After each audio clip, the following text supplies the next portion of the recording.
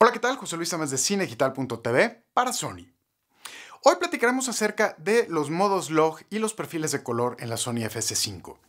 La cámara cuenta con nueve perfiles de color de fábrica. Para activar los perfiles presionamos el botón P-Profile, el número 2, al costado de la cámara y seleccionamos el perfil de color que queremos utilizar, desplazándonos con el joystick de nuestro Smart Grip. Hay que hacer una distinción importante entre los distintos perfiles de color con los que cuenta la FS5. Los primeros seis perfiles con los que cuenta la cámara son perfiles en los que podemos obtener una imagen lista para ser entregada sin necesidad de hacer corrección de color. El Picture Profile 1 nos muestra una imagen con la configuración estándar de la cámara. El Picture Profile 2 emula lo que podríamos obtener de una DSLR, mostrando una imagen con un contraste alto, sombras oscuras y colores saturados.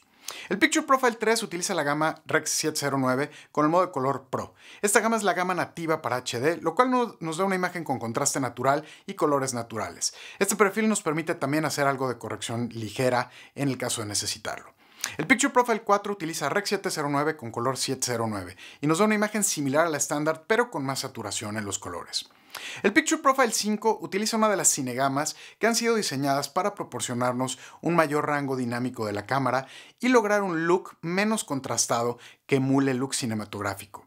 Este perfil se recomienda utilizar para exteriores soleados o lugares con luces muy brillantes. El, Picture Profile número 6 es muy similar al 5, pero en este caso el nivel de grabación máximo es de 100 IRE, al utilizar Cinegama 2, lo que hace que la imagen que obtengamos sea legal para transmisión en televisión o transmisión en directo. Los perfiles 7, 8 y 9 son perfiles que utilizan los modos log, S-Log 2, S-Log 3 y S-Log 3 con SGAMUT 3. Picture Profile 7 utiliza el modo S-Log 2 y el espacio de color SGAMUT. En este modo deberás exponer tus blancos al 59% y tu imagen deberá de ser procesada en postproducción haciendo corrección de color. El Picture Profile 8 utiliza S-Log 3 y el espacio de color es Gamut 3 Cine. En este modo deberás exponer tus blancos al 61% y al igual que en el modo anterior, tu imagen deberá de ser procesada en postproducción y deberás hacer corrección de color.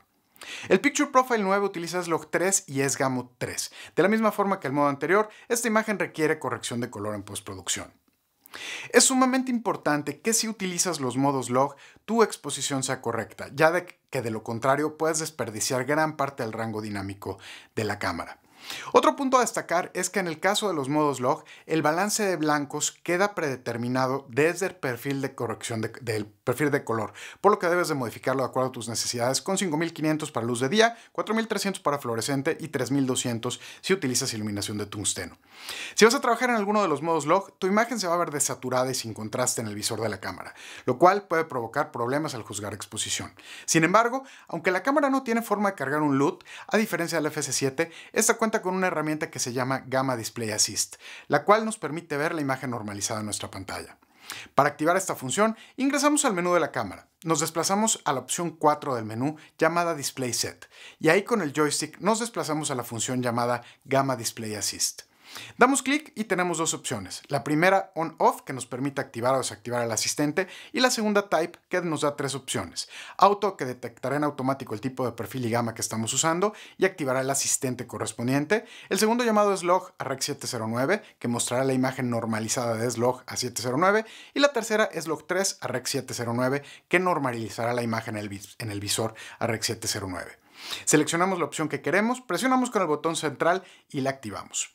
Para más información sobre la PXWFS5, te invitamos a visitar la página de Sony en sonypro-mediolatin.com. Muchas gracias. Adiós.